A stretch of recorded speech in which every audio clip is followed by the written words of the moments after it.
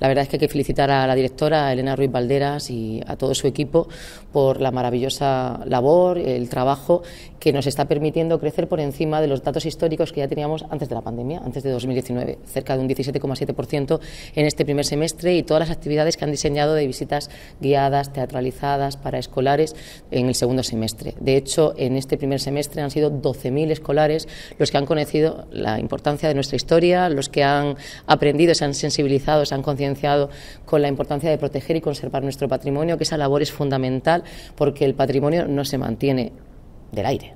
Obviamente el patrimonio cuesta mucho dinero, el protegerlo, el mantenerlo, el funcionamiento de este museo también cuesta mucho dinero, sobre todo para tener la calidad que tiene y por algo ya tiene 2.722.000 visitantes desde su apertura.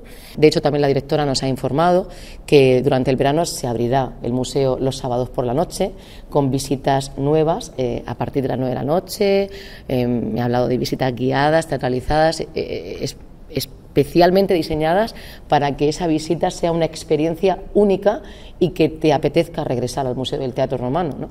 El Teatro Romano está registrando unas eh, cifras que nos posicionan ya en, las cifras que tenemos hace cinco años, ¿no? en 2019. De hecho, los primeros cinco meses del año han pasado por aquí, por el Teatro Romano, eh, 114.000 personas, casi un 18% más que en 2023 y un 18% casi más que en 2019, que como digo, fueron, eh, fue un año donde tuvimos esas cifras récord. Por lo tanto, eh, no solamente es que eh, hemos llegado a, esas cifras, sino también que las hemos superado. En torno al, 31% corresponde a grupos, el 35% son cruceristas y el 31% a grupos escolares. El teatro romano de por sí ¿no? es una pieza única a nivel patrimonial que, ya de por sí es, es una justificación ¿no? para visitarla. Pero además yo quiero agradecer también, por supuesto, a la directora Elena y a todo su equipo eh, todas las actividades que se organizan a lo largo de todo el año. ¿no? Es importante señalar que,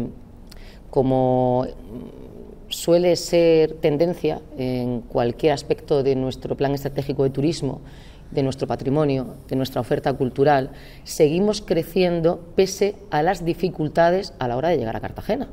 Eh, es un tema que está detectado, ¿no? Eh, es, un, es un obstáculo, es un freno, eh, es un problema que tenemos que resolver, que es mejorar las comunicaciones y las infraestructuras, sobre todo la ferroviaria, para que desde Madrid pues tengan mayor interés en visitar nuestra ciudad, que sigue habiendo, ¿eh? sigue habiendo mucho turista madrileño que viene a Cartagena y que coge su coche o coge un avión, porque lamentablemente ahora estamos peor que hace unos años, ¿no?